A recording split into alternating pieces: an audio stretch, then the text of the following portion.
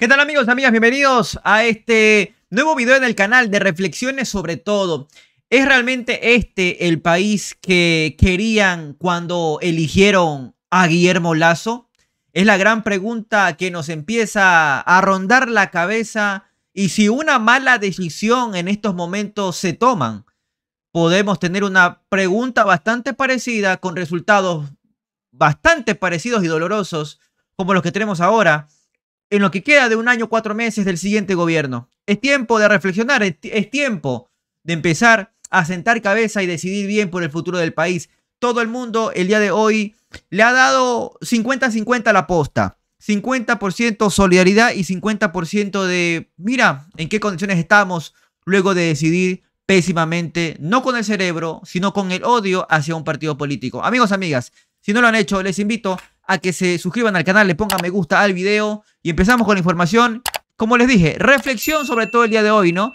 Tanto así que hasta los mismos medios de comunicación entienden que votar por Novoa significaría los mismos resultados que se tiene con Lazo. Y por otro lado, bueno, detestan al correísmo. Así que, ¿qué tenemos? ¿En qué nos queda la balanza? En mínimas cosas, en detallitos, se van a definir las elecciones que se vienen. Mientras tanto, ya empieza la prensa a decir que Novoa, creyéndose ganador, es un gravísimo error de creer que esto ya está del otro lado, o sea, en, Carondelet sentado. Veamos que la campaña de Daniel Novoa en este momento está cometiendo unos errores garrafales, errores de inmadurez. Hoy por hoy nosotros estamos viendo mal la campaña política de Novoa y estamos hasta pensando de que podría llegar a perder si no cambia su estrategia política. Podría perder. Vamos por acá. Ecoavisa también hace algo, algo parecido. Escuchen esto. Hablando precisamente de ese fondo que hemos tocado en, en lo político, usted corrió, eh, Verónica, para la alcaldía de Cuenca por el movimiento Amigo, el que fundó el convicto Daniel Mendoza, y ahora es candidata por una alianza conformada por Pueblo, Igualdad y Democracia y la ex Alianza País, que tiene otro nombre y que se llama Mover. Cero compromiso ideológico. Las organizaciones políticas para usted no son más que un vehículo que le permite participar en elecciones. Escuchemos la respuesta. El planteamiento de Lenin Artieda la terminó de acabar. O sea, no podría eh, saber qué podría responder, ¿no? Verónica Abad. No sabría, la verdad, cómo, cómo defender aquello. En este instante no deberíamos pensar en esa división, Lenín, porque estamos en emergencia en Ecuador. Ay, ay, ay, los ojitos, ¿cómo le hicieron, no? Le bailó de un lado a otro, como que dijo, chamadre, me agarró. Pensé que me iban a apoyar por acá, pero recibo tan solo cuestionamientos. Ahí está la misma prensa de derecha se da cuenta que han cometido un error garrafal de inducir a error a que la gente vote por sus candidatos y tenemos los resultados que hoy tenemos, amigos, amigas. Sigue por este lado, en cambio, la posta con la denuncia que hizo al gobierno de Lazo de que Fiscalía le seguirá un proceso por un video de TikTok.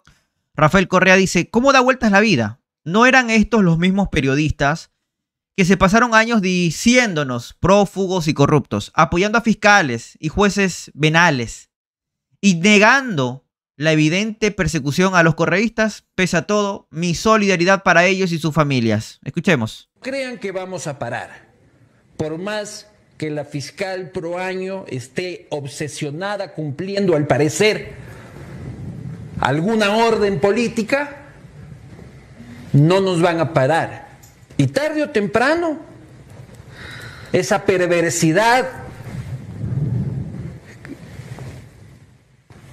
que se instrumentaliza desde las instituciones del Estado llamadas a velar por la seguridad de los ciudadanos, se terminan pagando.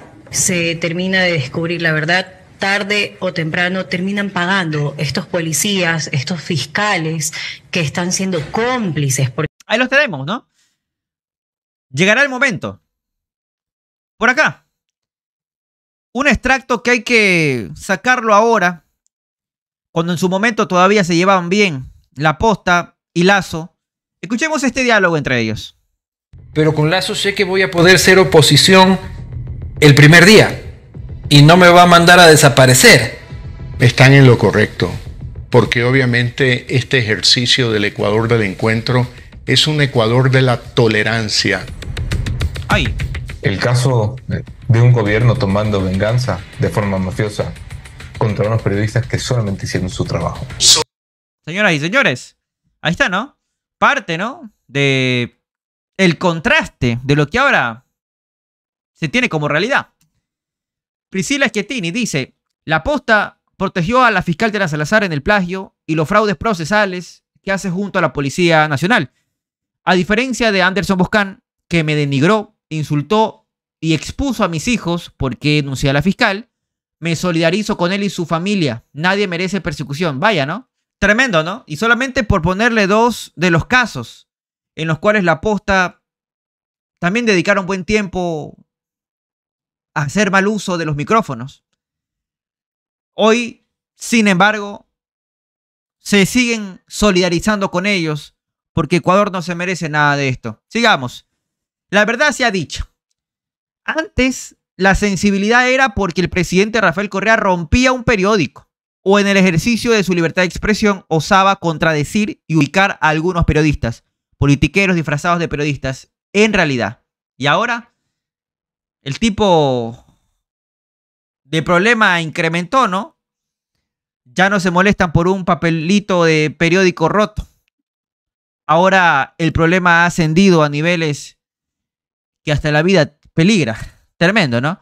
Sin embargo, Carlos Rojas, periodista de Coavisa, ¿no? Ecuador es un mejor país y justo abajo, justo abajo, las imágenes de Coavisa, el día de hoy, al equipo de Noticias de Televistazo les robaron los equipos.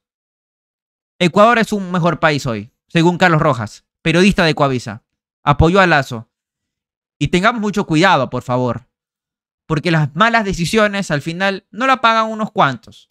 La pagamos todos los millones de ecuatorianos a pensar el voto bien. Espero que lo hagas, que, que, que por lo menos un momento para charlar sobre a quién darle voto y no votar jodiendo, creo que sería la mejor conversación productiva, así sea un momento del día. El futuro del Ecuador está en tus manos, está en tu voto, está en tu pluma, está en tu aporte a la democracia. No lo echemos a perder una vez más. Señoras y señores, nos vemos hasta un siguiente programa aquí en Sin Corbata. Nos vemos más adelante, 8 y 30 de la noche, con más información, más análisis, leyendo sus comentarios. Así que en vivo los espero. 8 y 30, más tarde, un abrazo a todos.